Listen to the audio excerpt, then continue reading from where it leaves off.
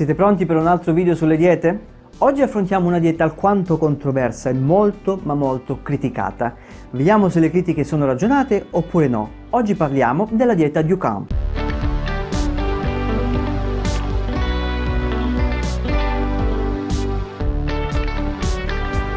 Ciao a tutti, bentornati su Health Me Food. Quanti di noi amano e vogliono perdere peso velocemente senza problemi?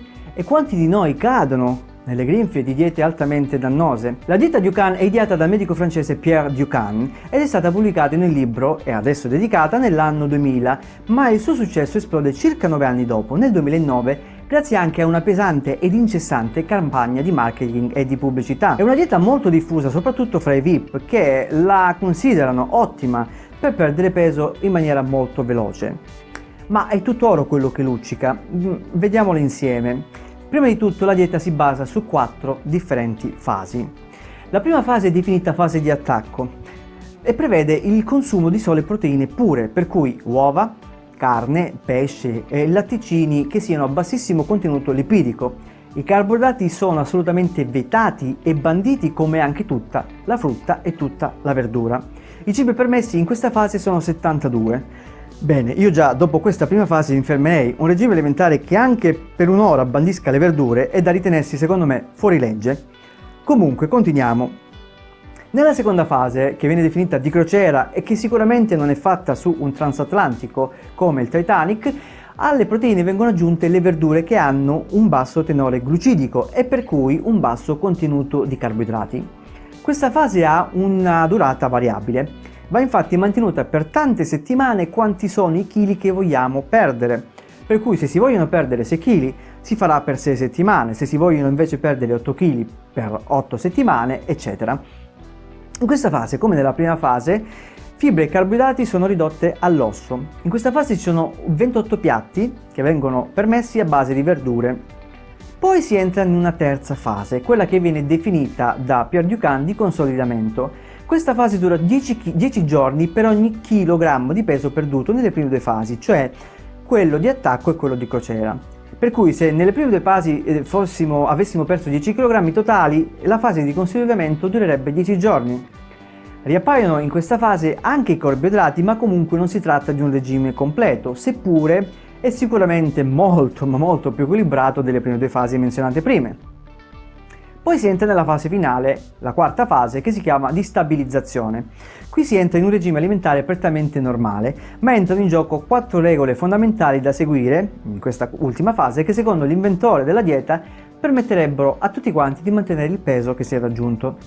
La prima regola è di mangiare almeno una volta a settimana, eh, consigliato da Pierre Ducan preferibilmente il giovedì, solo proteine pure, per cui carne, pesce, molluschi, uova, salami o latticini magri. La seconda regola è di praticare attività fisica calibrata alle proprie esigenze e condizioni fisiche, cercando poi di aumentarla eh, in maniera graduale nel tempo. La terza regola è di assumere ogni giorno 3 cucchiai di crusca di avena perché aumenterebbe sia il senso di sazietà, grazie alle fibre in essa contenuta, e anche perché ridurrebbe la quantità di calorie assorbite. La quarta e ultima regola è quella di ritornare alla fase di consolidamento nel caso si notasse nuovamente che eh, si ha un incremento del peso. Questa dieta funziona? Bene, sicuramente si perde peso velocemente, ma quello è praticamente eh, l'unico vantaggio, perché per mesi non si mangia niente, è normale. È una dieta estremamente iperproteica ed estremamente ipocalorica. Se non si perdesse peso velocemente non, non sarebbe neanche una dieta. È sicura? No, assolutamente no. Se volete rischiare danni permanenti fatela pure e rovinatevi la salute. Tra l'altro Pierre Ducan si è autoradiato dall'ordine dei medici francesi anche perché molto probabilmente aveva avuto sentore che se non l'avesse fatto lui lo avrebbero fatto loro. Questo per due motivi particolari. Uno perché prescriveva farmaci per il controllo dell'appetito e questi farmaci sviluppavano gravi patologie a livello delle valvole cardiache e lo faceva senza nessun tipo di eh, etica professionale. Inoltre aveva anche avuto la matta idea di proporre crediti formativi agli studenti delle, delle scuole per quegli studenti che mantenessero il peso forma senza preoccuparsi delle possibili reazioni psicologiche che ragazzi e ragazzi che magari erano in stato di sovrappeso e obesità o di anoressia potevano andare incontro. Ci sono poi anche evidenti rischi per la salute per chi pratica questo regime alimentare. In primis, l'eliminazione completa dei carboidrati, cosa che non fa neanche chi pratica una dieta chetogenica che toglie al cervello e al sistema nervoso centrale il carburante principale per vivere e funzionare, cioè il glucosio. In mancanza di questo l'organismo, oltre a prelevare i grassi dai depositi, preleva anche proteine per convertire il glucosio perché serve appunto per il cervello, distruggendo così la massa muscolare del soggetto. Inoltre si creano troppi corpi chetonici dalla trasformazione delle proteine come fonte di energia e per cui questi composti che sono di scarto e sono a base azotata e si vengono a creare sono tossici per l'organismo e soprattutto per due sistemi, quello epatico e anche per il sistema renale. Poi, essendoci troppe proteine di origine animale, si aumenta il colesterolo plasmatico a causa delle enormi quantità di grassi saturi che si introducono nella dieta, soprattutto quelle provenienti da carne rosse, che possono, come tutti sanno, creare malattie al sistema cardiocircolatorio.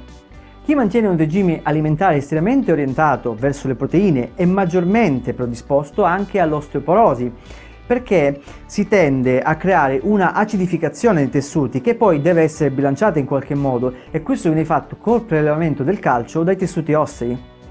Inoltre lo scarso apporto di vegetali crea due problemi particolari. Primo, la mancanza di antiossidanti e vitamine e sali minerali in quantità adeguata affinché il nostro organismo possa vivere in maniera salutare e la quasi totale assenza di fibra alimentare che in aggiunta al regime iperproteico può provocare anche la gotta, cioè un accumulo di cristalli di acido urico in tutte le articolazioni. Inoltre a causa della carenza di frutta e verdura anche la quantità di acqua proveniente dagli alimenti è scarsa. Vi ricordo, se vi ricordate il video uh, sul, sullo sport che ho fatto qualche tempo fa, che l'acqua prelevata dagli alimenti viene ritenuta ma- maggiormente all'interno dell'organismo e per cui oltre a bere tanto, mangiare frutta e verdura è un passo fondamentale per avere un'efficace idratazione totale. L'unico che ci guadagna qui dalla dieta Dukan è solo Pierre Dukan. La vostra salute sicuramente non ci guadagna assolutamente. Infatti, da uno studio effettuato nel Regno Unito che purtroppo non riesco più a trovare, l'avevo letto ma non lo trovo più, ma se lo trovo vi lascio nei commenti, anzi se lo trovate voi per favore rilasciatemelo nei commenti, ha dimostrato che sia, chi ha sostenuto una dieta Dukan successivamente durante la fase finale nel 68% di casi continuava a riprendere peso.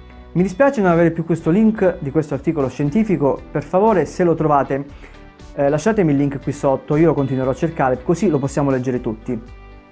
Come ho sempre detto, e non mi stancherò mai di ribadire, il concetto di eh, confronto col vostro nutrizionista o dietologo di fiducia è l'unico modo efficiente per riuscire a perdere peso in maniera salutare perché noi eh, ci prendiamo cura di voi anche in armonia con quelle che sono le vostre esigenze e anche i vostri gusti alimentari.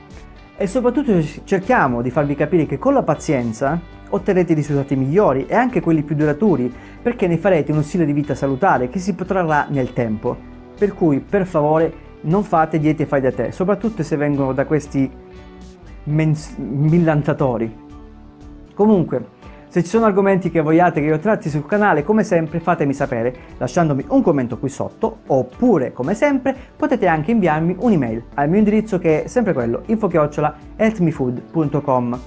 Vi ricordo che tutti quanti potete come sempre seguire questi contenuti anche sotto solo forma di audio podcast che io pubblico su iTunes, su Spreaker e su Spotify. Inoltre potete anche seguirmi su tutti i social network su cui sono presente. Vi ricordo che io sono presente su Facebook, su Instagram e anche su Twitter. E su questi social potete fare anche cose importantissime, come ad esempio condividere questi video o questi audio podcast per aiutarmi a passare il mio messaggio salutista a più gente possibile. Se poi non volete perdervi anche nessuno dei miei video successivi, vi ricordo di fare due cose molto veloci e utilissime. Iscrivervi al canale e cliccare la campanella delle notifiche. Per scoprire chi io sia e di cosa mi occupi potete sempre visitare il mio sito internet che è www.healthmefood.com. Anche per oggi abbiamo finito e vi lascio andare, ma mi è rimasta solo la cosa più importante da dirvi che Eat well, live well and smile e ci vediamo la prossima volta. Ciao!